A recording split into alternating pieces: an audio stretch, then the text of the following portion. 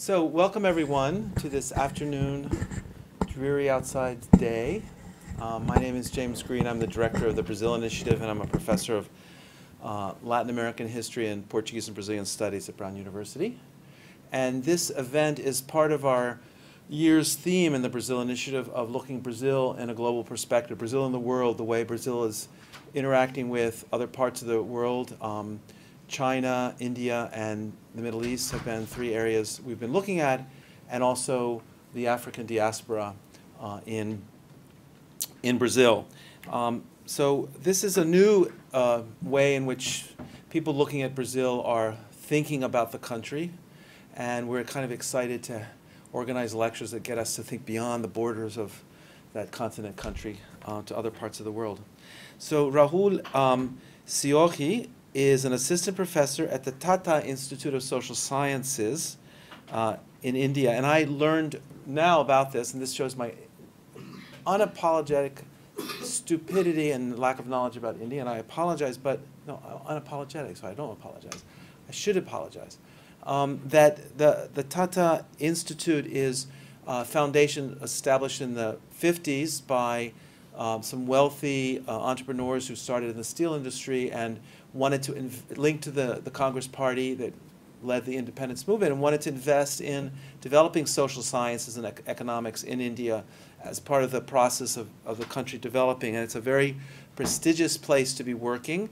Uh, and he uh, was here in Providence last year at Providence College, but he received his PhD at the University of Illinois at Urbana-Champaign, working with one of the most important economists of Brazil, in the United States, Werner Baer. Um, and he has a wide range of interests, um, but over the last few years, he's become particularly interested in the economies of Brazil and India. In fact, before uh, this lecture, we were talking about an article he wrote, a comparative study of the railroad system in Brazil and the railroad system in India, um, their similarities and their differences, and um, very smart layered understanding of at least the Brazil side for me, and I'm sure the, your India side was very layered and smart as well, but allowed us to really think together about um, how the railroads developed and why they developed in Brazil. So the title of his talk today is Alternative Paths to Economic Development, a comparative analysis of Brazil and India and the era of neoliberalism, and I want to welcome you to Brown University.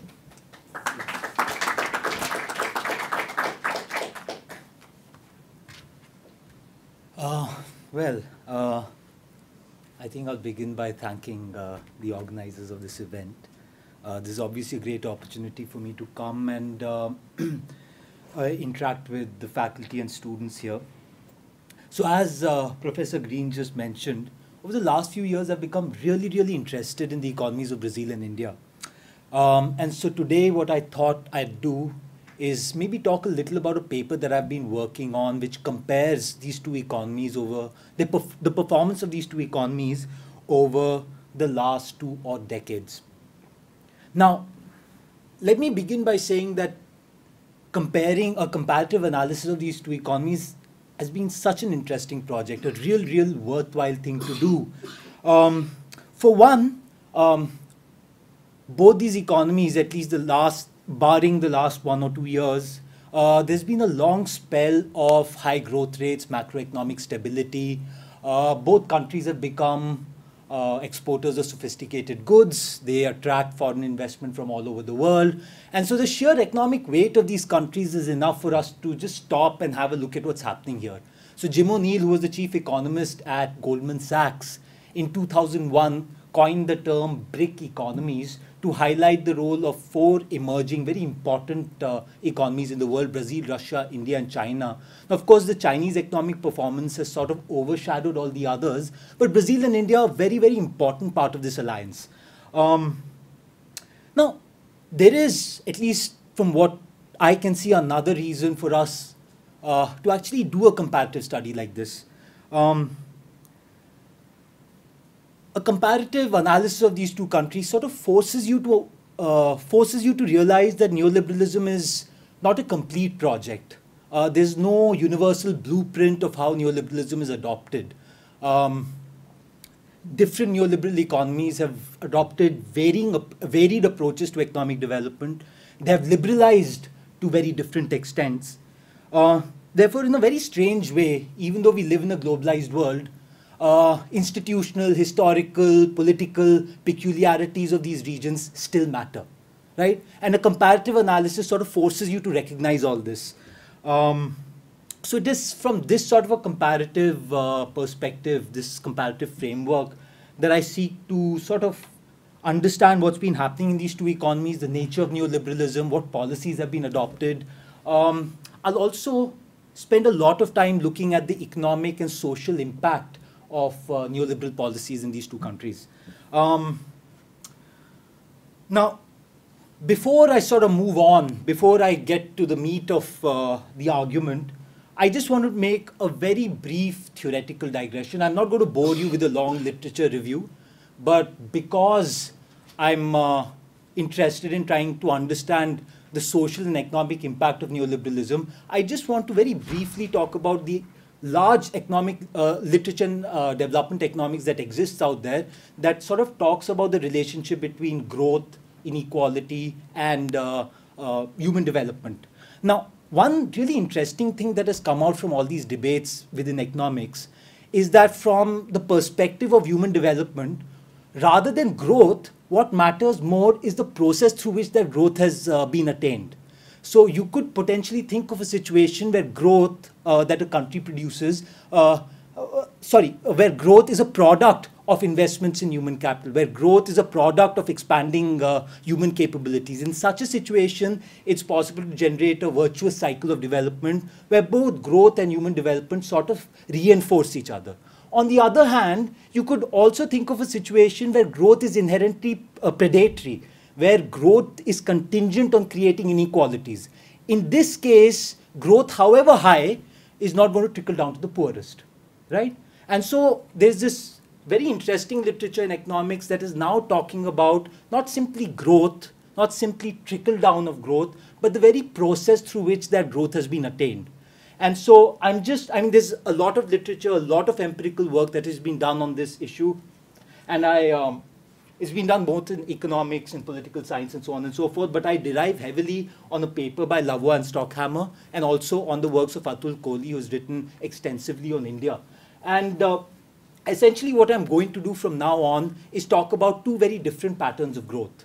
On the one hand, you have a pro-labor pattern of growth, uh, pro-labor regime, if you like to call it, which is an economic regime where growth itself is contingent on increases in the wage shares in uh, national income growth is contingent on investments in human capacity, in investments in education, in health, and so on. Um, a pro-business path of economic development refers to an economic regime uh, where growth is contingent not on increases in wage share, but is contingent on increase on uh, increasing the uh, share of profits in total income. Um, so it's with this very brief sort of a theoretical overview that I'm now going to start talking about what's been happening in these two economies over the last uh, 20 odd uh, years. I'll begin with India, move on to Brazil, and then later on maybe talk a little about uh, some interesting uh, um, political economy issues between the two countries. Um, so my central hypothesis is this, that even though on the surface both Brazil and India have adopted market-friendly policies, they've embraced markets, state has been sidelined, if you'd like to use that word. Um, but underneath this, Brazil, uh, both these economies have followed very different paths, very different patterns of development. Uh, Brazil has converged to a pro-labor um, economic regime, a pro-labor pattern of growth, while India has been converging towards a pro-business development path. Now, I use the term converge to make it clear that this process is incomplete, this process is fluid, and as we uh, and things can change really fast, as we have seen uh, in the last year or so um, in Brazil. Um, a second thing that I'll probably look at a little later if I have time is um, the political economy of these growth regimes. I mean, if you look at these two economies, they adopted market-friendly policies, they adopted neoliberalism because import, substitution, uh, import substituting industrialization had exhausted in both these countries. Uh, globally, there were tectonic shifts that were occurring uh, in the world economy. So on the surface, uh, economic constraints were similar. Both local and global economic constraints were similar. But despite that, these two economies have sort of adopted very divergent patterns of development, and this makes it, and therefore it's really important to understand uh, the political economy of um, growth in these two countries. So let me begin a little by talking about what's been happening in India. Um, now, honest, uh, truthfully, in order to understand what, uh, in order to understand contemporary India, or for that matter, contemporary Brazil, um, one has to actually be willing to go back a little into their histories. Now, we don't have time for that. Um, but I still want to mention a couple of things about uh, uh, the post-colonial development model that India pursued after 1947. Now, for those of you who know a little about India, you'll know that for over two centuries, India was a colony of uh, Britain, and that the entire colonial experience was very traumatic. And so, in 1947, when India attained independence, and I'm not exaggerating, it was perhaps one of the poorest economies in the world. Uh, it, it had inherited, inherited a very lopsided economy. Uh, the population was largely rural, illiterate, uh, life expectancy was 35, 40. Um, so it was sort of within these parameters that early nationalist leaders like Jawaharlal Nehru um, decided to embark on a very um, ambitious project of economic development. A project of economic development that sought not only to industrialize a rural country, but that also sought to um, redistribute the fruits of this industrialization to uh, the vast majority of um, its citizens. Now, the big question that these initial, these early political, uh, these early nationalists were confronted by was this. Um, in a country where there's there are crippling shortages of human capital, where there are crippling shortages of uh, physical capital, who or what is going to be the agent of this massive transformation? Who is going to take the uh, Nehru's uh, uh, who's going to spearhead Nehru's uh, model of growth, model of development?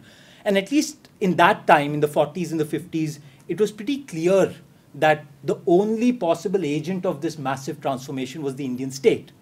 And therefore, what followed between 1947 and 1980 was a state led industrialization model uh, that sought to sort of uh, industrialize the economy, but also sought to um, uh, redistribute the fruits of development to the poorest. Now, one has to sort of understand that the Indian state was a product of very uh, contradictory forces. It was elitist. Uh, there was an aversion to asset redistribution. There was an aversion to land reforms. But the state was also informed by a very egalitarian ideology. It had an egalitarian streak attached to it. Uh, now, apart, one reason why the state had this sort of egalitarian streak attached to it was that it was its uh, historical legacy.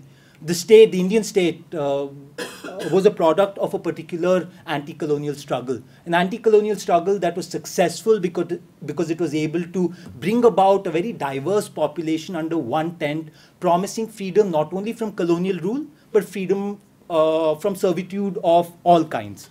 And therefore, Ramachandra Guha, the great Indian um, historian, calls India an unnatural nation. It was an unnatural nation not because it was desperately poor. It was an unnatural nation not because it uh, wanted to embark on this remarkable project of economic development. It was an unnatural nation because um, it sought to do all this under the auspices of a democratic state. And if you look at the BRIC economies, it's only India that has had a uninterrupted, almost uninterrupted uh, uh, has had uninterrupted uh, democracy. There was a period in 1970s where emergency was imposed for three years, but apart from that uh, period of three years, from 1947 to uh, till today, India has been um, a political democracy. So now I'm going to cut the story short, but essentially there were some major initiatives that were undertaken by this uh, post-colonial state and it did appear and major uh, and there were some very interesting achievements. But by the 1980s the nehruvian growth model the nehruvian development regime started running into its uh, limits. It appeared as if uh, the state-led industrialization model um, was sort of um, exhausting itself. And so around the late 1970s, early 1980s, Indian policymakers decided to um, uh, adopt a very different pattern of development, one that embraced markets, one that sort of sidelined the state. Uh, but the crucial um, characteristic of this new economic strategy, which began in the 1980s, 1990s, was that policymakers now emphasize growth above all other considerations, and they did so by um, supporting big businesses. And therefore, Atul Kohli calls this pattern of growth uh, as pro-business, right? So I'm not going to get into his argument, but I just like to point to a couple of things, couple of uh, three things about uh, this pro-business model that India adopted from the 1980s. One, if you look at these numbers, uh, one thing that stands out is the spectacular economic performance. Since the 1980s, growth has consistently been uh, around 5.5, 5.6%. In 1980s, it was 5.7, and then between 2000 uh, and 2012, it uh, reached 7%. Um, and what's even more interesting is that all this has been done on the basis of saving, right? In this uh, last decade or so, in between 2000 and 2012, the actual saving rate is 31.8%, and that's an average. There have been years where the saving rates have touched 38, 39. Uh, percent. And therefore, unlike Brazil, unlike many countries in Latin America, where the big problem seems to be one of debt, one of foreign debt, in India, uh, if you look at the indicators of foreign debt, total debt, uh, these are pretty respectable. I mean, there's nothing that stands out here, and uh, uh, on the whole, the macroeconomic profile seems to be very robust. Now, if you do a sort of analysis as to where this growth uh, is being generated, there's another interesting thing that comes up. While agriculture obviously has not done too well, uh, most of the growth has been concentrated in industry and services. But the real story behind the Indian miracle is uh, are the services. Uh, if you look at it, it's the services that seem to have been spearheading the India's, uh, India's uh, economic growth story. Um, so the second, this brings me to the second very important aspect of India's new economic strategy, and that has to do with the nature of structural change. According to the classical theory of structural change, uh, agricultural economy becomes uh, industrial, and the industrial economy, once industrialization peaks, becomes uh, service-oriented. But in India, uh, uh, policymakers have followed a leapfrog, uh, leapfrogging sort of um, approach in which a primarily agricultural country has transformed itself into a service-driven country. And therefore, uh, if you look at these numbers, agriculture has sort of been declining, but it's services that have been doing very, very well. Now, on paper, all this seems fine, uh, be because essentially what we are saying is that growth has been made possible because structural change has been biased towards high capital, high skill, high tech in um, sectors, not only within manufacturing, but also within services. The problem, however, with this strategy is that growth rates have outstripped um, the rate of employment generation. So if you look at these numbers here, I'm just comparing Brazil and India. Uh, I don't think you can see the colors, but the blue uh, boxes here represent the employment population ratios in Brazil, uh, an index of how much uh, employment is being generated and the orangish uh, boxes represent the employment population ratios of India. And the story that comes out from this and many other studies, I mean, I'm just showing you one uh, index here, but the big story is that growth has occurred, but because of the skill biased nature, the high tech, uh, uh, the capital intensive nature of structural change, employment has lagged behind. Um, so, I mean, I could go on and on about this, but the story is that employment seems to have lagged behind. And uh, interestingly, one of the sectors that seems to be driving this decline in employment is the public sector.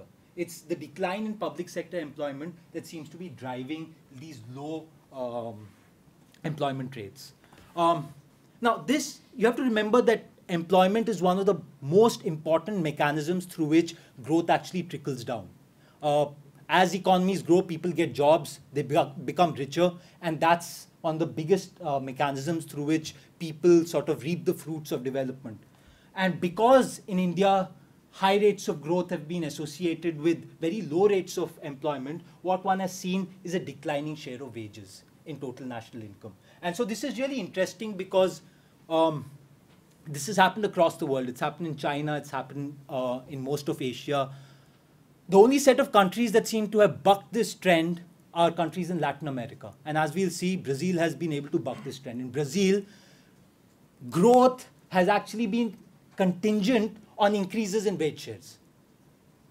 Um, now, one could potentially argue that labor markets employment is only one of the many mechanisms through which growth actually trickles down. After all, state institutions, state intervention could be another potential uh, channel through which uh, um, you know the benefits of growth actually reach to the poorest. But it turns out whether you look at uh, expenditure on education, whether you look at public expenditure on health, public expenditure on pensions, on welfare, and so on and so forth, um, India has not been doing too well. Expenditure on all these accounts seem to have been falling. And uh, here I've only taken public spending on education as a percentage of GDP. And what you sort of see is a, scissor type of a diagram. On the one hand, starting from 2000, Brazil's uh, investments in education have increased, while in India, the exact opposite has happened. So on the whole, therefore, when it comes to India, the three things that are clear. First, there's a very robust macroeconomic profile, high rates of growth, all generated through savings. So instability has been minimal. In fact, when Latin America, East Asia succumbed to crisis in 1997, India uh, and China, of course, but India survived. In 2008, when there was a global financial crisis that affected uh, the entire advanced capitalist world, India survived. Not only did India survive, India grew. Um, but underlying all this uh, is a sort of structural change that has been biased towards capital intensive industries. And because of this nature of structural change, employment rates have been very, very low. So the chief mechanisms through which growth actually trickles down to the poorest has been basically ruled out by the nature of structural change. Uh, added to this, because of the pro-business approach to development where the state sort of prioritizes economic growth, uh, allies with big businesses, uh, even the sort of redistributive functions of the state have been hampered. I've shown you only one example, but I could go on and on telling you about how state intervention in the social sector seems to have declined in the post-1980, but uh, uh, especially in the post-1990 period. Uh, so not surprisingly, if you actually look at indicators of human development, India has performed abysmally. So if I were to actually put this table and this table next to each other, and not put the uh, names of the countries there, you'd actually think that they belong to two separate countries. On the one hand, you have this massive growth rate, amazing uh, macroeconomic profile, but when you look at how people are living, uh, the indicators uh, are pretty poor. Uh, I mean, I don't want to get into this. You can look look at it yourself. Uh, malnutrition, whether you look at it in terms of wasting or under five nutrition, India sort of underperforms when compared to Brazil. Now, one could potentially argue that you're actually uh, comparing apples and oranges. Brazil has a middle income country, it's much richer than India. Uh, so obviously Brazil is going to have uh, higher human development indicators. It's obvious. So maybe something, a better strategy would be to compare the growth rates in human development indices. But it turns out that even when you do that, India underperforms when compared to Brazil. So I just have a couple of numbers. I didn't want to put up another table. Infant mortality between 1990 and 2012, according to a UNICEF um, database, has decreased at the rate of 6.9% a year in Brazil and in India at a rate of 4% per year. If you look at malnutrition, in India, it's in terms of stunting. Uh, in the 20 year period between 1990 and 2010, uh, uh, India has reduced stunting by 38% and Brazil by a whopping 69%. So whether you look at absolute values, whether you look at growth rates, however you want to put it, the story that comes through is this. You have a country that seems to be growing very, very fast, but the fruits of that development don't seem to be trickling down to the poorest. Uh, and therefore, there is, in one sense, it does make uh, a lot of sense in calling this approach a pro-business pattern of development. Um, now, I'm going to now quickly move on to Brazil. uh, and talk a little about uh, what's happening there. Um, now, as I began, uh, when I was talking about India, I began by saying that history is obviously very, very important to understand. You can't understand what Brazil is today unless you go back a little into history. Uh, and so I'm just going to say a couple of things about uh, the 1930s and 1940s. These decades were the peak of economic nationalism. Um, whether it was Jawaharlal Nehru in India or the great uh, nationalist Getulio Vargas in Brazil, the common understanding seemed to be that integration into the world economy is ne- necessarily a bad thing for poor countries. Integration. Uh, so, if these poor countries are to harbor any hopes of economic development, uh, they have to somehow break away from the vice grip of this global division of labor that has restricted their economies to be uh, into suppliers of raw materials, right? So this was the sort of understanding that existed in India. It also existed uh, uh, during Getulio Vargas's time in Brazil. Uh, added to this, there was the Great Depression, which reduced uh, uh, prices for prim- primary commodities, etc. And so 1930s, 1940s, Brazil started experimenting with uh, what economists call import substituting industrialization. That is, instead of exporting things from, uh, importing things from abroad, just make it yourself. So, um, now, initially things went very well. Import substituting industrialization produced growth, it produced increases in wages, so everything seemed to be rosy. But just like in India, 1960s was a period of grave crisis all of a sudden this ISI model seemed to have been uh, uh, started crumbling. Uh, was inflation, GDP growth rates declined, and socially there was massive polarization. I think a couple of weeks after Goulart, uh, the Brazilian president, announced his support for land reforms, there was a military coup. Um, and so what followed, the period between 1964 and 1985, was a very dark period in Brazilian history. Uh, Professor Green here might be uh, is an expert on that, so he'll be able to tell us a mo- little more about that, uh, the social, political aspects of that. I'm going to concentrate on the economics of the authoritarian regime. What is interest? Now, remember, import substituting industrialization. I don't know if you've done it earlier. I don't know if you've uh, heard it earlier, but it is contingent on creating a home market. If you're producing something, it has to be sold. People have to buy it. And so the success of ISI depends on the size of the home market. Now, it turned out that for political reasons, land reforms could not be done, asset redistribution could not be done, and therefore the size of the home market was too narrow for import substituting industrialization to occur in the classic way. And so, one thing that the military regime did was instead of looking for a market inside domestically, they looked uh, uh, to export, to manufacture goods for, ex, uh, for export uh, markets.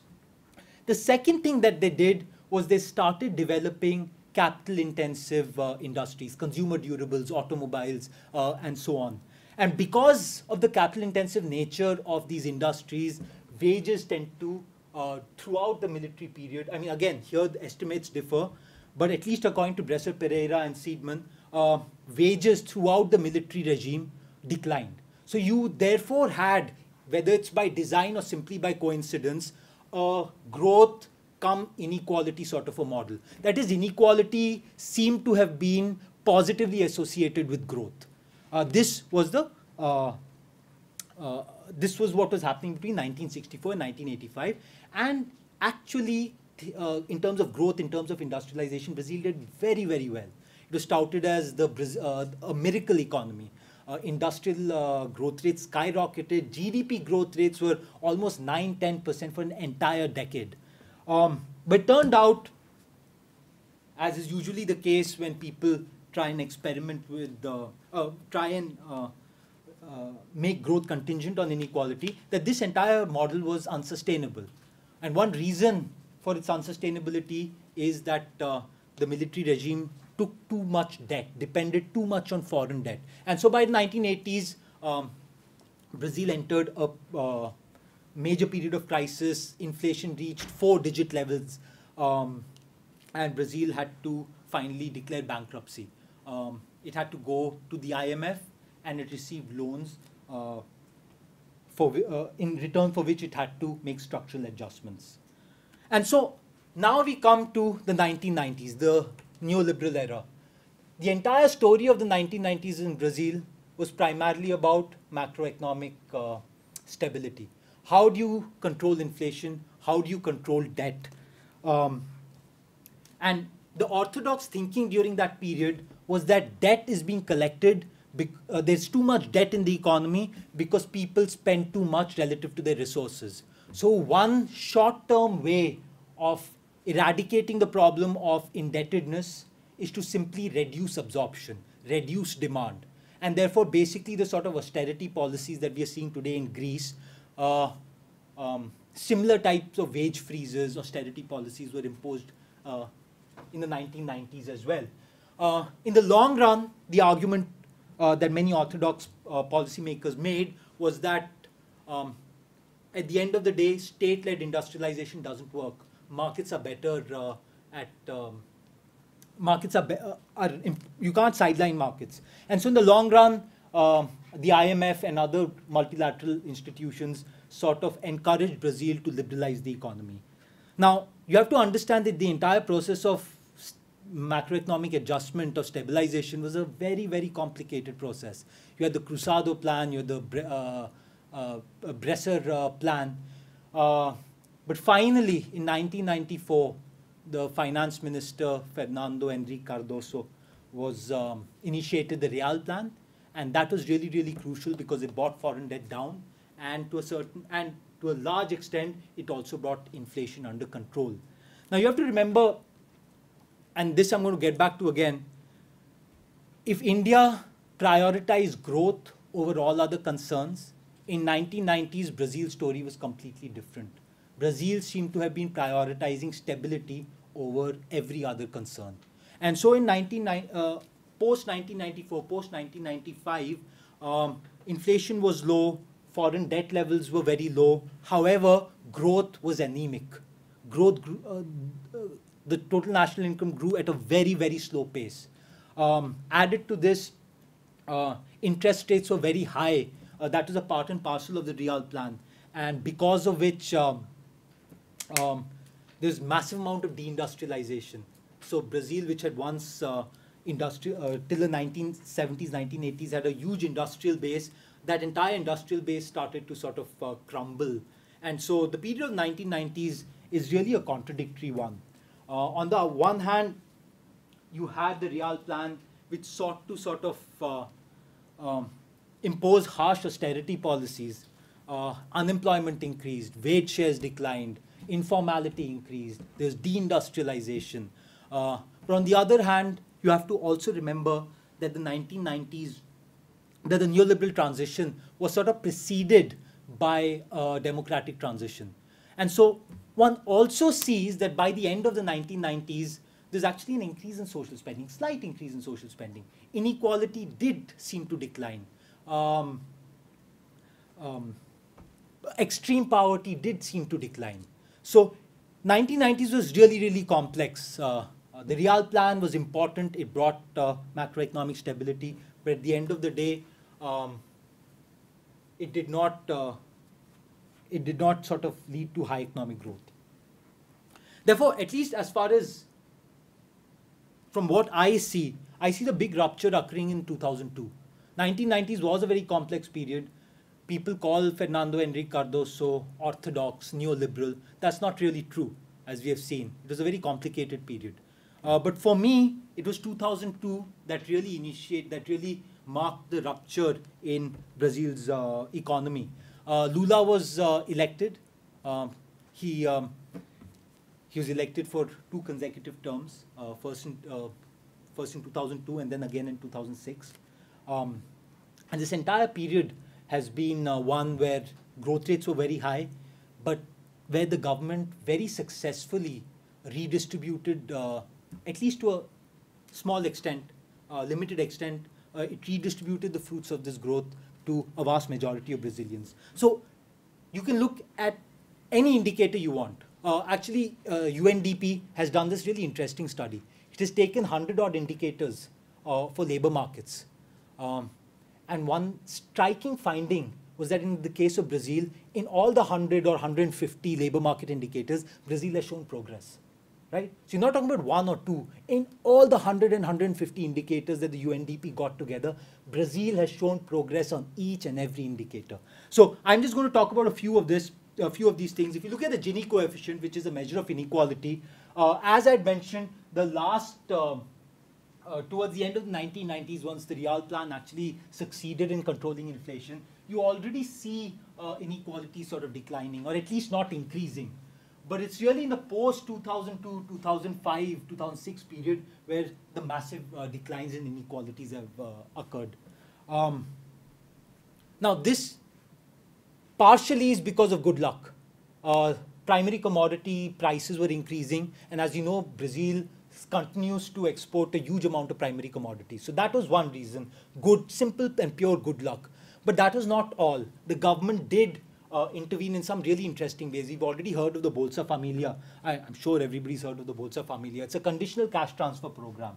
Uh, the government identifies poor families and it provides them cash transfers conditional on those families uh, sending their children to school, families sending their children to uh, get vaccinated and so on and so forth. But what's most, what's very interesting about the Bolsa Familia is the quasi uh, universal uh, nature of this program.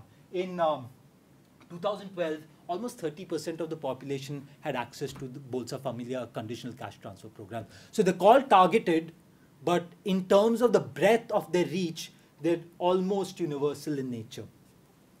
Um, so, I mean, I could go on and on. I don't want to bore you, but if you look at uh, the share of formal employment, which is again a very, very important indicator of the quality of employment that is being generated, uh, the story, the, the, what I'm the story is the same. Until the late 2000s, you see a great uh, increase in informalization, a decrease in formal jobs. But post 2002, the trend is reversed. Um,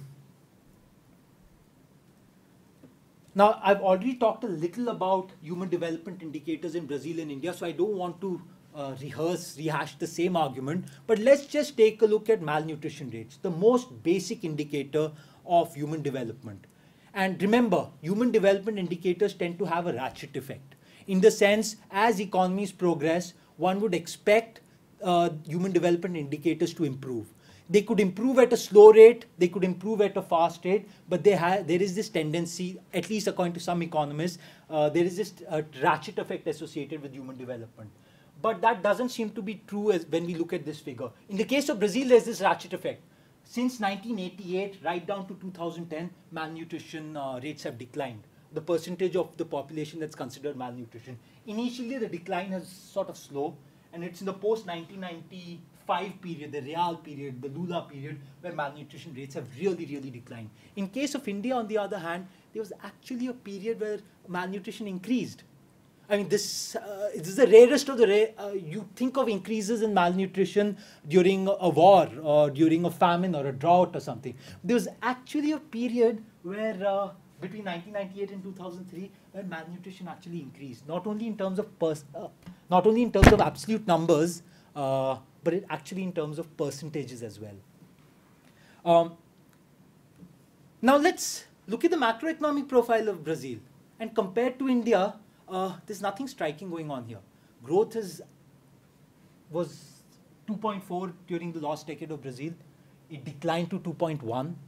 Uh, and even in, you know, the most, uh, the last decade where there has been this entire spell of, of very good macroeconomic performance, stability and so on, uh, growth has just touched 3.6. India, it was around 7, 7.2. And in Brazil, it's almost half, it's 3.6. So there's nothing great going on here. Debt, obviously, is under control because macroeconomic stability is very important. Gross savings, uh, how much uh, the country saves, has actually declined from 23 to 15, and then there's a slight increase to 16.3. So I could go on talking about this, but uh, it turns out, therefore, that uh, Brazil has been able to achieve real impressive improvements in human development declines in inequality uh, solely on uh, without very high growth rates. Uh, and this, for me, is the most striking part of this comparative analysis. Um, that rather than growth itself, what seems to be mattering is the process through which that growth has come about. You could have growth rate that skyrocket, that reach 7%, 8%, 9%, and you could still have a situation where malnutrition increases. On the other hand, you could have what mean, these are anemic growth rates. There's nothing great. 2.1% growth rate is uh, a failed state, really. But actually, in terms of uh, human development, uh, there has been a lot of progress. Um, so, for me, this first part was pretty evident. And if you look at the data, if you look at the literature out there, the first part of it to say that India is going down a very inegalitarian path while Brazil is going down a more egalitarian path is obvious. The tougher question for me was why. You look at it, both countries had very similar uh, starting points. Import substituting industrialization was started in the 1930s and 1940s. It got exhausted by the 1970s.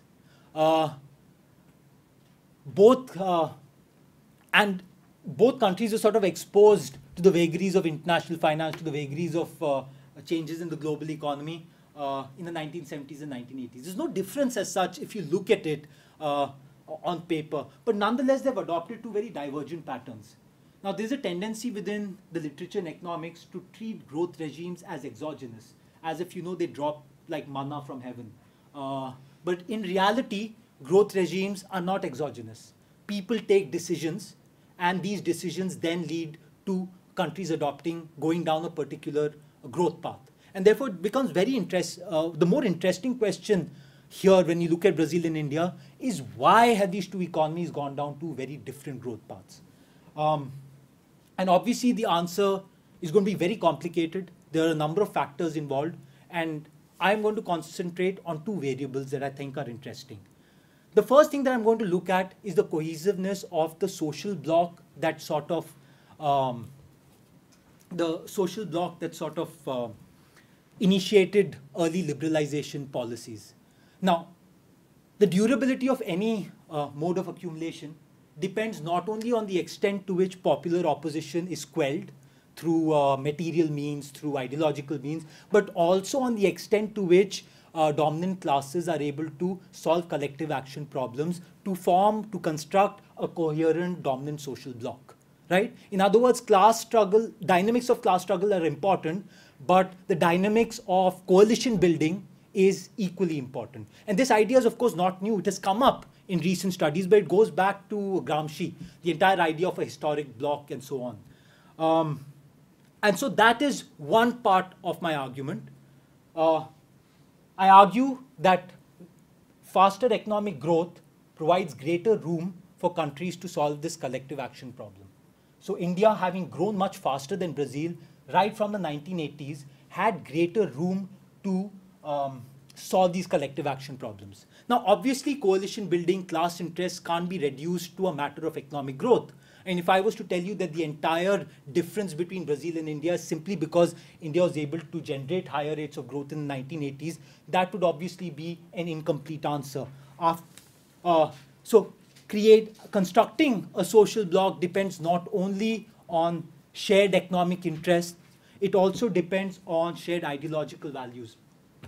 And this is where political parties really make a difference. And here again, I think Brazil and India are complete contrasts. Now, it's been very complicated, so I'm, what I'm going to say is a caricature of things uh, that have been occurring in these two countries. But in Brazil, post 1980s is largely been the rise of a left of center government, uh, of a left of center party in the form of PT. Now, yes, they were, uh, there was Cardoso, there was Sarney, there was Collor, etc. But largely speaking, at least from a comparative perspective, what seems to stand out is the rise of a left of center government. In India, on the other hand, the polar opposite has happened. Uh, Post 1980s has been a period where a right of center government has, a right of center political party has emerged. The Bharatiya Janata Party or the BJP started with uh, two members of parliament in 1984. It formed a coalition government in 1999, and in 2014, it has its uh, own majority. It doesn't even need coalition partners.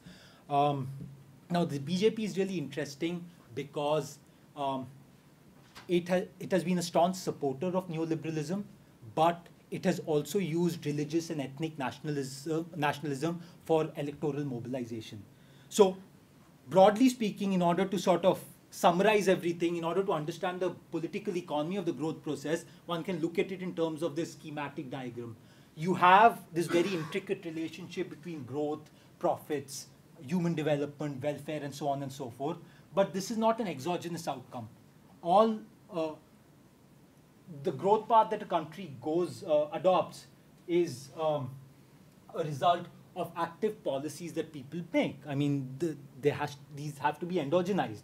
Now, these policies could be international in nature. World Bank, IMF, international policies are important. Monetary policies of the United States uh, continue to be very important. But I'm only going to concentrate on national level policies, um, fiscal policies, etc. Uh, now, whatever it is, um, ultimately, differences in these growth paths um, could obviously be explained by a whole lot of things. You have uh, position the world economy and so on and so forth. But as I told you, I'm going to concentrate on the role of political parties and the cohesiveness of the dominant social bloc. So this is a sort of, this is a story that I'm uh, trying to construct. Um, now, obviously, there's a lot of scope for research here, a lot of scope for experimentation. You could look at a whole lot of other factors that may have influenced these divergent growth paths. Um, world system uh, issues and international relations and so on and so forth. But I'm not going to do any of that. I'm looking at the first two um, variables. So let me again very quickly, do I have time? Um, maybe another ten minutes? Perfect. Uh, so,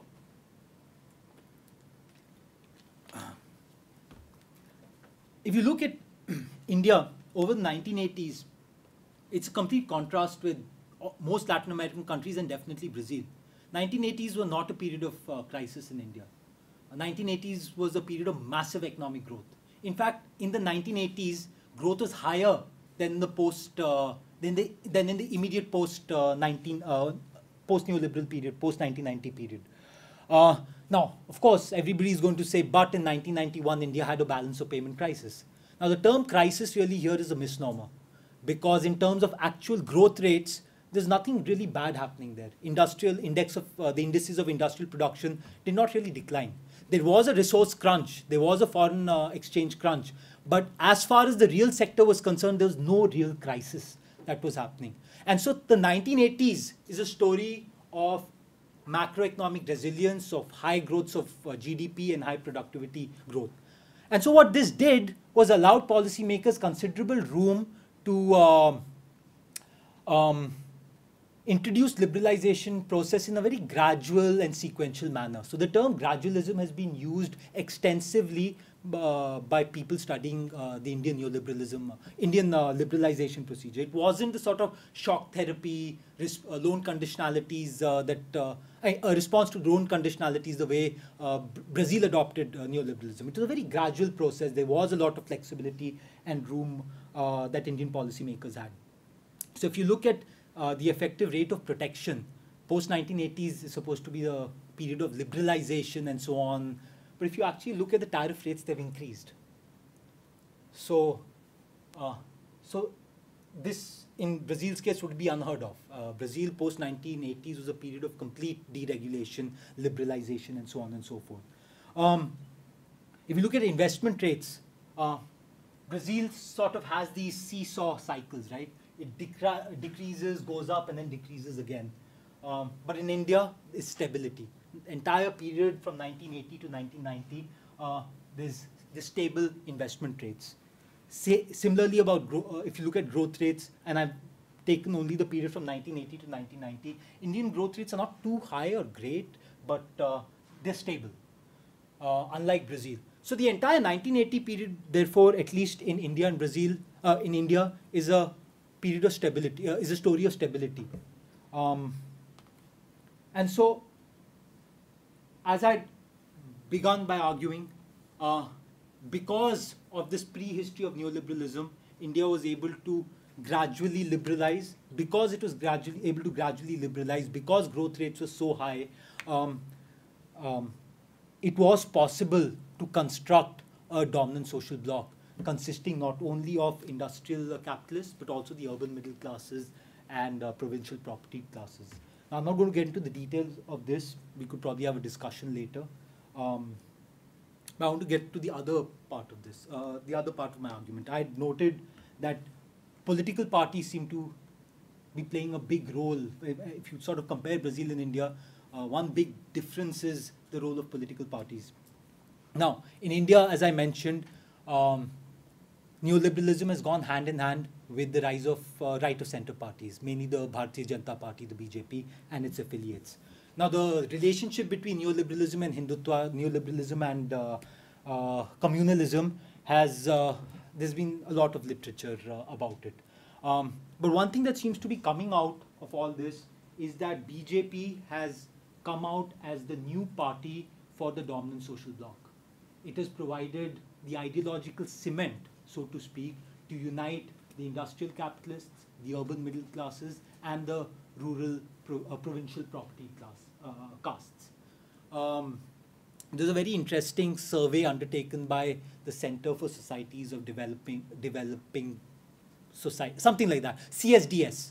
Uh, it took up a very interesting uh, post-poll survey in 2004, and according to that survey, most of the people who um, seem to have been voting more, seem to have a greater preference for a political party rather than an economic platform. And therefore, it turns out that though material interests are important, though high rates of economic growth may have helped construct a dominant social bloc, uh, a large part of the support for neoliberalism is also social in nature. It's also ideological in nature. And this is where the BJP has been very, very um, successful. It has basically been able to unite all the diverse property classes uh, under one single tent. And that's really been the story of the post 1980s, post 1990s India. Now, uh, in Brazil, we know what happened in the 1980s. It was a period of massive crisis. Growth rates declined. The 1980s was uh, called the lost decade of uh, Latin America. Productivity rates, growth rates, uh, basically the economy was in shambles. And because of this, in the 1990s, priority was given to macroeconomic stability and not growth. The Real Plan imposed austerity. It imposed high interest rates, imposed overvalued exchange rates. Growth was anemic. Not only was growth anemic, unlike India, Brazil had this entire decade of deindustrialization. The manufactured, manufacturing base that had been developed over a period of 40, 50 years crumbled uh, in a matter of a decade. And so industrial capitalists were um, adversely affected by trade liberalization. In fact, towards the end of Cardoso's uh, reign, um, there were a whole lot of these uh, uh, representative bodies for industrial, cap, uh, industrial capital that severely opposed, uh, that uh, criticized Cardoso for his high interest rates. Um, added to this, and very different from India, is that the middle class, the urban middle classes in Brazil have not done too well. In India, if you remember, structural change was biased towards skill intensive sectors. So you had young people graduating, uh, doing a four year engineering uh, progr- uh, program, graduating and getting a, good job because that's what the nature of structural change was. In Brazil, on the other hand, structural change has been growth reducing, it has not increased uh, uh, growth rates the increase in services have primarily been because of unproductive services. Added to this, um, um, Cardoso himself increased uh, tax rates a lot. So Brazil stands out from most developing countries for very high rates of tax. But most of those tax revenues went in debt repayment and were not actually funneled back into uh, welfare uh, policies. So for all these reasons, not only industrial capital, but also urban middle classes were sort of uh, uh, excluded from the neoliberal social bloc. And so, unlike India, where for a number of different reasons uh, there was a, it was possible to construct a social alliance in favor of uh, uh, neoliberalism, the same thing could not occur in Brazil simply because uh, the way it transitioned towards neoliberalism. And so, a combination of these workers, um, uh, industrial capitalists, and urban middle classes uh, is, uh, and Saad-Filho has called them the losers alliance, the people who lost out of neoliberal policies. They were really the social base that catapulted uh, PT and Lula into power in 2002. Uh, PT, as you know, is uh, a party that started in the 1980s. Its basic, its base was amongst uh, workers, workers in the industrial belt. But over a period of time, since the 1980, uh, in 1980s, it started as a very radical left-wing organization. Uh, it espoused socialism. Uh, it wanted uh, to do away with uh, capitalism uh, and so on. But by, by 2002, uh, after engaging in you know electoral politics, it sort of moved towards the center. And for the first time, it dropped socialism from its uh, vocabulary in uh, 2002, if I'm not wrong. It also eased its policy of uh, uh, forming alliances. Initially, uh, the party only allowed alliances to be formed with other left parties. But in 2002, they decided to ally with non left parties. I forget what it is, but some sort of Christian uh, Democratic Party or something. And so uh, it was this combination of things. On the one hand, the inability to form a dominant social bloc because of this, uh, uh, and consequently the rise of PT that was able to provide a platform to this losers alliance uh, that sort of catapulted Brazil towards a neo-developmentalist, pro-labor sort of uh, growth path. So I'm going to sort of more or less stop there. Uh, but I just want to, I mean, we've been talking about this, uh, Professor Green and I, uh, about the importance of comparative analysis. And I think for me, this has been uh, an amazing journey looking at Brazil and India. I basically, um, uh, I find that when you look at Brazil in the long 20th century, uh, there seem to be more continuities than ruptures. Um, I've talked a lot about what happened in 2002, before and after, but if you look at it, there's nothing revolutionary, nothing radical that has changed in uh, the structure of the economy. But having said that, if one was to look at Brazil from an Indian perspective, um, one would be forced to recognize that in a world where uh, wage shares are declining, in a world where labor is being forced into precarious occupations, uh, Brazilian institutions, their society has sort of bucked the trend. Wage shares have increased, formalization has increased, uh, inequality has declined. And therefore, I think a comparative study brings out, uh, uh, I mean, it tries to bring out these small little subtleties that are otherwise lost out. Similarly, when you look at India from a Brazilian perspective, and again in India, there are a whole lot of arguments as to what sort of neoliberalism is being adopted. Is it pro labor? Is it pro business? Will it is it pro business now, but will it become pro labor some time in the future? You know, uh, grow first, distribute later, sort of a thing. But I think things become more clear when you look at India from a Brazilian perspective. In the 1980s, India adopted a pro business pattern of growth, but that was not the only option it had in front of it. It could very well have adopted, there were other alternatives, and the Brazilian example does show that other alternatives exist. Now, uh, I mean, are these, uh, is the Brazilian, uh, are any of these uh, growth paths uh, sustainable? Brazil is already in the midst of a massive crisis.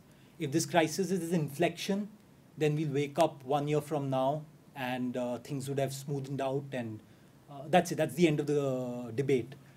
But if it does turn out that this is an end of a very important, consequential Brazilian cycle, then uh, the future of Brazil is slightly more complicated. What's going to happen from now is uh, in the future is slightly difficult to uh, uh, predict. Similarly, with India, already they, I mean, I've talked about the cohesiveness of the social bloc. I've talked about the gradual, sequential nature of liberalization. Uh, but already there seem to be cracks within the uh, dominant social bloc. There are massive protests in the state of Gujarat. Modi, sorry, the Bharatiya Janata Party, which is being led by uh, Narendra Modi, has lost two very important state elections less than one and a half years after uh, uh, the victory of his party. And one and a half years is supposed to be a golden period, you know, a honeymoon period for any uh, uh, any government. So again, uh, there are more questions than answers, but I think that's what a comparative analysis does. Um, so, uh, I'm a fellow at the Watson Institute, and I didn't attend lectures by economists, but do you know what they do in, in, in economist lectures? How many people do, do economics? You, um, you interrupt them the whole time they're giving a lecture and ask questions about things. And I was thinking, should I do that? I said, no, that will really scare my students. I really loved your lecture, and I want to um, have the opportunity for questions and answers. Um, so um, I'll let you field them, and then I can sit in the audience and ask some questions. So,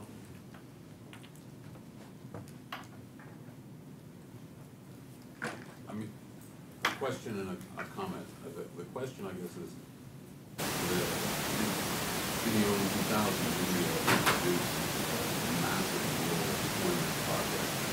Actually, three times the amount of the local India and use of the world fund. So how does that fit in to this story? And then, guess, the apples and oranges problem, part, part of the uh, strategic constraints that are being developed seemingly to be embedded in, uh, the failure to develop mass application, which predates all of this by a long time, and there, uh, so with China, India, very explicitly focused on developing technical and physical money in secondary schools and colleges, PhDs, and gone on for, for fifty years, right? So in that sense, some possibilities have been constrained and now. Yeah, so I think the second point is, um, I mean, I agree with you. Uh, there's always a risk of uh, when you compare countries and you have such a long timeline. The best one can do is have a caricature of things that are going on. As you rightly pointed out, there are all these path dependencies that exist. Uh, history matters; it shapes the future of deve- uh, future development trajectories of economies. So I do accept that completely. It was not simply a failure of neoliberalism or the way neoliberalism was adopted. There is a longer uh, history to it. Now, as far as the NREGA is concerned, um, in hindsight, it seemed to have been an inflection in an otherwise clear path towards a pro-business uh, model of development. NREGA was basically adopted by UPA1, the United Progressive Alliance, which was uh, run by, which was headed by the Congress, but which had outside support from the left parties. And that was one of the biggest reasons uh, the NREGA was adopted. Having said that, after UPA1, year after year, the funding for NREGA has declined. Every year after uh, 2009, the funding for NREGA has been declined. And today, uh, there, there is news that NREG is going to be completely scrapped. Uh, so I do agree that that's why I use the word convergence. I said it appears as if Indian economy seems to be converging towards a pro-business pattern of development to show that it's fluid, it's dynamic, it's contentious. Uh, BJP has not been in power. Pro-neoliberal forces have not been in power. Pro-cap, uh, pro-business forces have not been in power throughout the 20, 30 years uh, that we are discussing.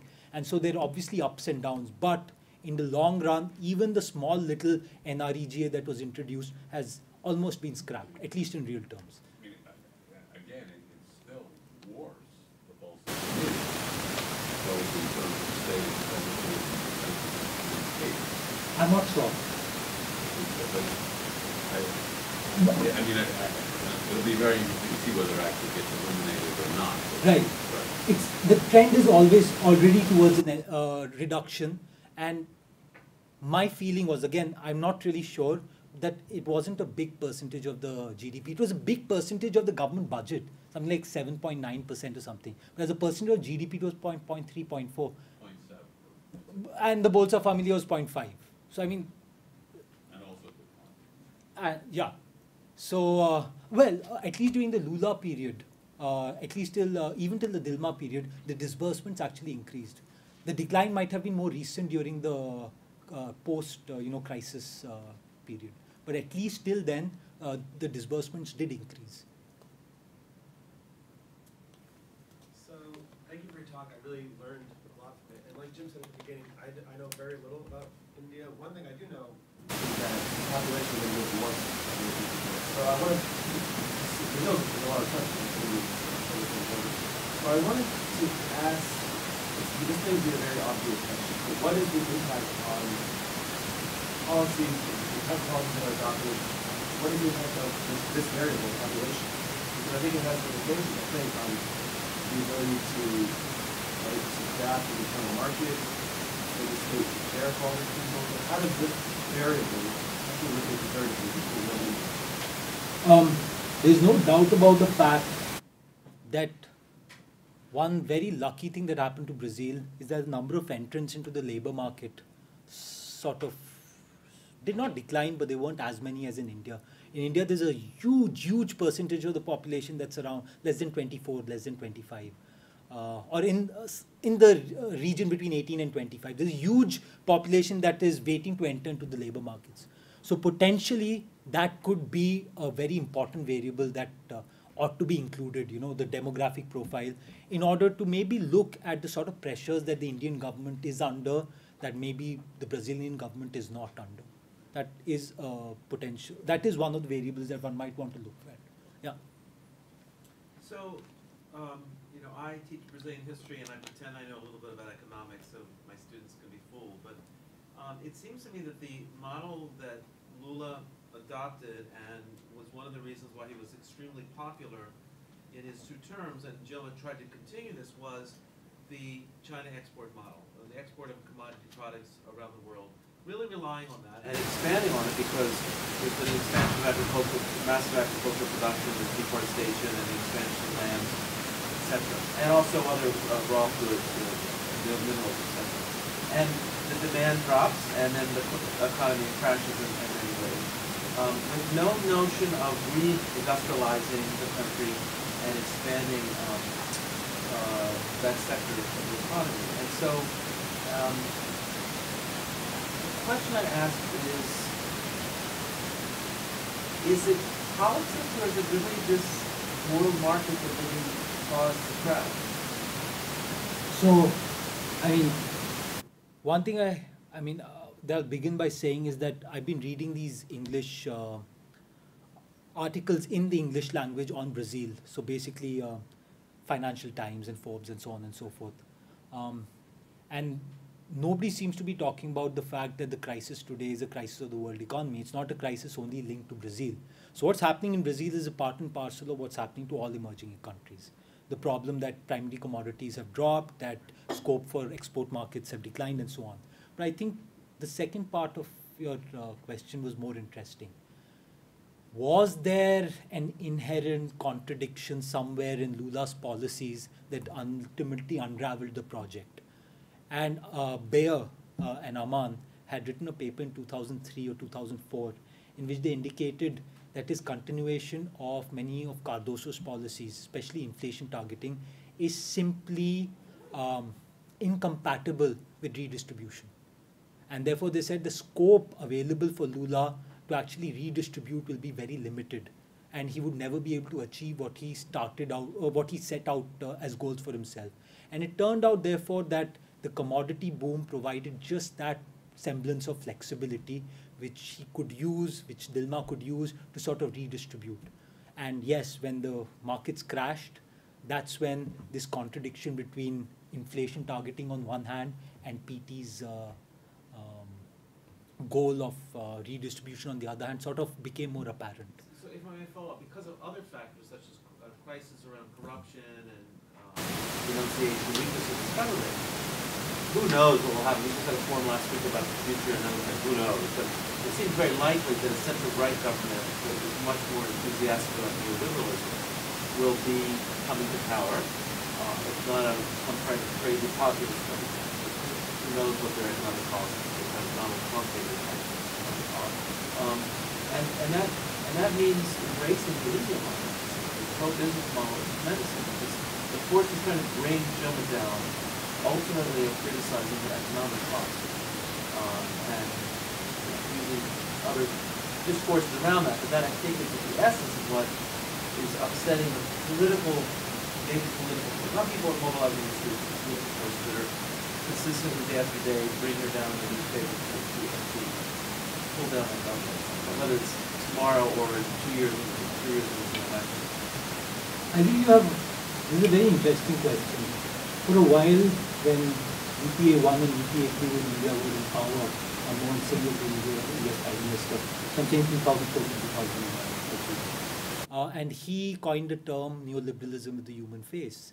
Uh, that is, it's possible to follow liberalization policies, but nonetheless modify it, ameliorate its worst excesses. Uh, so at least the Brazilian case seems to be showing that it's very difficult. Uh, I mean, that not not that it's impossible, but that it can be very difficult to give neoliberalism, at least the way it has been adopted in Brazil, a, uh, a human face. Uh, so it turns out that um, in the case of Brazil, uh, the entire attempt of Lula to sort of have uh, the neoliberal model, the neoliberal framework of inflation targeting and so on, and still try and create flexibility within it, completely backfired. Um, and so, yes, there could potentially be a shift towards the right, uh, but I mean, let's just wait and see. We let's just wait. I mean, I'm still slightly more confident about what can happen then.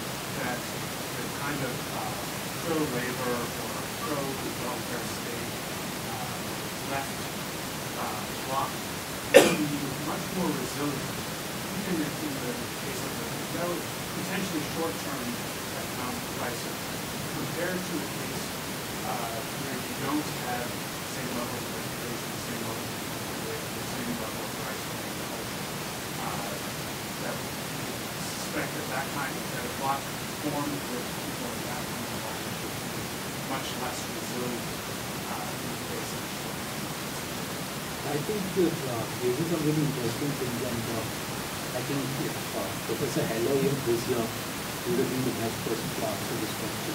There does seem to be, uh, first, as far as rights enshrined in the Indian Constitution, um, and uh, right to education, just like exists in the Indian Constitution. The problem, I don't think, exists at the level of um, laws. Uh, I think. It exists more in the sense of implementation. So for instance, there is a right to education in India, that means education, a right of every Indian. But uh, the recent government has also uh, come up with a new ordinance in which children are now going to be allowed to work in home industries. So in order for the right to, in the constitution to actually translate into um, uh, you know, actual implementation, there's an entire sequence of things that have to be done. Uh, most importantly, with uh, the state to want to do it. I don't think that exists in India. But having said that, I think it's very interesting to look at how this um, rights-based culture differs in these two countries. And one thing, and I'm not an expert in this, so I might not be able to answer this perfectly, but one thing that sort of stands out is that in India, social movements uh, broadly, what we call the left, uh, has taken a very anarcho-communitarian term, uh, term. In the sense they don't seem to be, um, there's no conversation between them on the stage. While I think in Brazil it might be slightly different, whether it was the sanitaristas of uh, the 70s, 80s, PP, uh, MST. Uh, in fact, during Cardoso's period, he described the relationship between civil society and state as a porous one. So I think there might be some very interesting differences that one could exploit and see in these two countries. Uh, but, um, I yeah, go ahead. I, guess the, the issue that, I would bring up is, it, seems to me when you, when you talk about what are the implications of exploiting, I'm trying to explore the implications. And see, to me, the big thing would be what is the resilience of the block that led to the story that you described? Yeah. Both of those presentations. So then the question is on what is that block constructed, not just whether it exists, but how, how does it come to be? How, how does it interact with economic, uh, structural factors? Yeah. So, I mean, how, how resilient, it seems the big question is how resilient is this block? It's not just. Yeah. So this is the political part, the party part. I think that when the economy is weak, and at the same time, the PT is, is hit by the tremendous accusation of corruption and demoralization of parties that had seen the moral guidance the country, carrying out a very progressive social um, rights program that it demoralizes deeply the rank and file of that movement, the people who sustained it, the intellectuals who worked with it, activists uh, of all kinds. And that combined with um, the pounding of the media against the party to bring it down, I think has kind of immobilized it and confused it because it always had a very contradictory program, which was on one hand left-wing social democratic and also kind of accommodationist with the government. So when Dilma comes in and appoints Katia Abreu as the Minister of Agriculture, who was the enemy for 20 years, everyone who was being convinced to vote for Dilma two months before is like, oh my God. First thing she does is bring in this person to be in this ministry. So there's a massive demoralization because people think that the country is not lived up to its goals and and it's a weakened government, and it's a government that is not able to, uh, it's cutting the budget also, so there's a, the, the economic situation is really grim. Uh, We're having a Brazilian Studies Association here next year, we're expecting a forty percent uh, drop of the people who've been holding papers and coming because they've cut all of the finances for travel. So, scholars won't be coming. So I think it has to do with the crisis in the, in the center of the left in Brazil about whether its leadership is really fulfilling the promises it was given. If I may, my analysis of what happened in 2013 was we want you to fulfill the, the, the promises. We want better housing, we want better education, we want better public transportation. And when it was perceived that Dilma didn't understand that and respond to that and show very symbolically that it was going to do something to solve that, she didn't.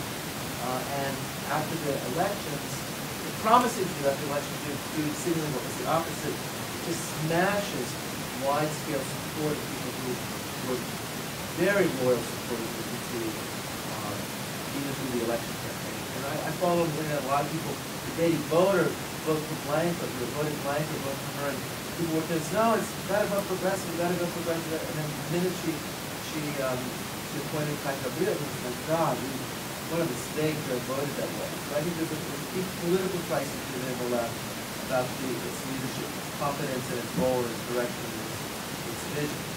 So I am, I'm, I'm, a, I'm a very optimistic person, but I'm a little bit more pessimistic about um, his, his block and his ability to sustain himself uh, in the future. And this also brings to uh, there's a broader question here. It's all right to say we'll forge cross-class alliances. It's all right to say that you know move to the center left and sort of ally with whoever possible to get into power. But that decision itself limits what you can do later. So to have a social coalition of capital, labor, middle classes, and also that sort of limits the extent to what uh, to the limits the extent uh, to which the government can work. Um, so uh, I mean, even in the case of India, if you look at it, it appears as if the property classes now have a party that will represent them. Even then, there are already cracks appearing there. For one, a huge portion of the Indian middle class, urban middle class, draws its um, I mean, they basically depend on public employment. So they do depend on the IT services and so on and so forth, and that has benefited them, but they also depend on public employment. Um, so even in a case like India, which is not going through a crisis where uh, seemingly you have everything going for the pro-business coalition, uh, the cracks appearing. I mean, uh, Thank you very much. saw you had a question, right? Oh, yeah, Yeah, sorry, I- I please, was I didn't see that. Thank you. that, yeah. Uh, thank you very much for your uh, speech. I, I, I have a very uh, basic question. Um, sort of, I, I, I, I, uh, I don't understand why pro-labor and pro-business are fundamentally separated. Uh, like, uh, when, when you, we, we are, uh, let, let's say we are pro-business, pro-business, then the business, the product business, uh, uh, businesses produce, the services business, uh, business provide, will eventually come down to the well, uh, the, the social well-being for the, uh, for the, for the, the entire society. And on, and on the other hand, if you want to increase the social well-being of the, of the economy, of the society, it all comes down to uh, supporting some businesses. Um, so it seems to me these two models of uh, uh, development are uh, inherently intertwined instead of uh, they're so could there be a hybrid sort of uh, third sort of a model that you could talk about where these things are intertwined? Yes, of course. Why not? Having said that, I think what I what I feel after getting to the data, reading these uh, two countries, uh, uh, reading literature on these two countries, is that essentially there is no automatic reason why a pro-business approach should necessarily lead to um, human development. I mean, that is an assumption that we can't uh, automatically make. That is what, uh, and that is my assertion. So there's this John Maynard Keynes had this very interesting article that he wrote. It was called The Economic Possibilities of Our Grandchildren. So he argued that markets don't work, that you need a state to intervene. And so there are all these problems. But eventually, once the economic problem is solved, once things are fine tuned and so on and so forth, uh, there's going to be no economic problem. Everybody is going to be prosperous. Now, the point that I'm trying to make is that, and this is uh, uh, the, uh, the mistake that Keynes made, there is no automatic reason why growth should necessarily trickle down. This is a compound interest sort of uh, logic that growth will increase, business products will increase, so automatically that will trickle down to the poorest. The point that I'm trying to make is if the growth that is being generated itself is contingent on creating inequalities, contingent on dispossessing farmers from their uh, land, then growth, however high, uh, will not trickle down. Because the way, the process of growth itself is an ine- inegalitarian one, it's a predatory one. That's the point that I was trying to make. But I understand what you're saying. Could there be, could we come up with other uh, potential models or other uh, categories um, of growth, growth regimes? Of course. Why not talk about a hybrid growth regime? One that sort of uh, is somewhere in between. Uh, and as I said, this is very fluid. You, there's no reason why India will not suddenly, uh, I mean, four years from now, elect a government that takes a pro-labor path. I mean, this is uh, very fluid, very unstable sort of situation. And there is, I mean, theoretically, at least one should potentially talk about a hybrid in between sort of a model. The point that I was trying to make was that gr- the process of growth really matters. Thank you. Thank you very much. One more question. I'm so sorry. One more question. Yeah, no, I'm sorry, I'm not trying to put it off, I just think people, you know, like, there's diversity, I think, is always very. You know, For example, you know, ninety-nine percent of the ability of people India has so many languages, religions, so you're more likely to pay into a welfare system that's supposed to be your own. So, so, we keep going up, so language use, you know, God, et cetera, so, so what, is there, is there like a role that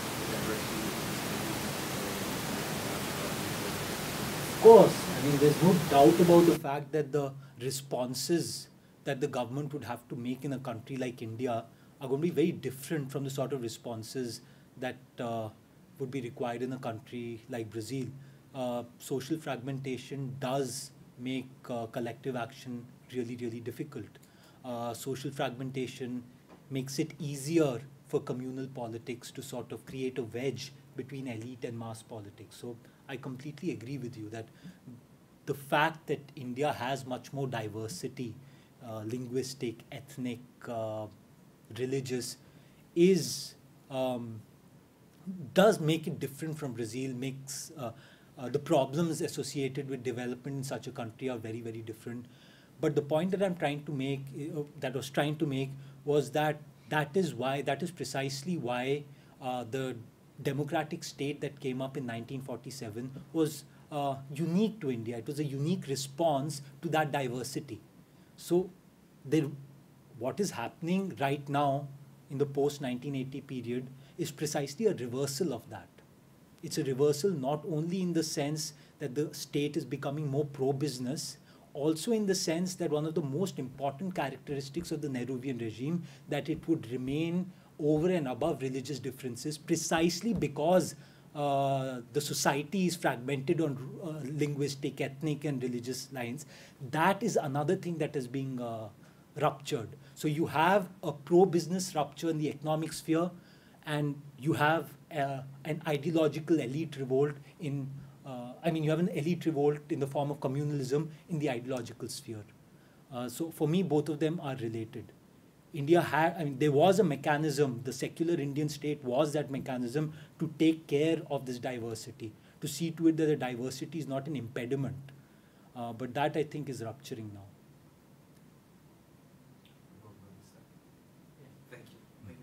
Thank you.